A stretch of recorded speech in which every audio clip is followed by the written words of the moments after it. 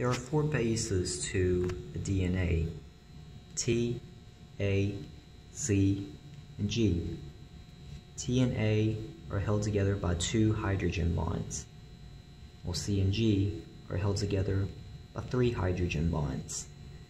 They're held up together by a sugar phosphate backbone, phosphate, and the sugar.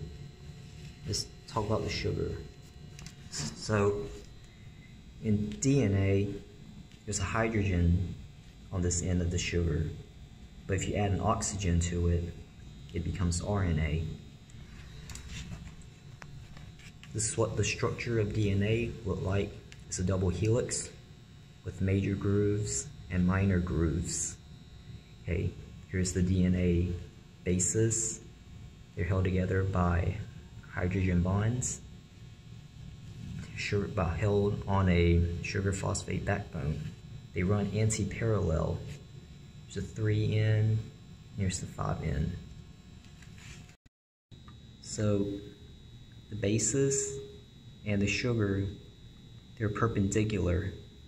The stacking gives the um, DNA its shape. Let's talk about the structure of the DNA.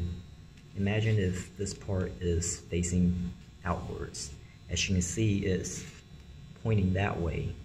DNA is, most of the time, normal DNA is right-handed, means it points right.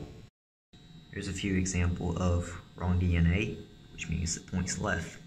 As you can see, points left. Here, same, points left. And here, see, points left. Kind of hard to see, but pointing left. And here, left-handed DNA.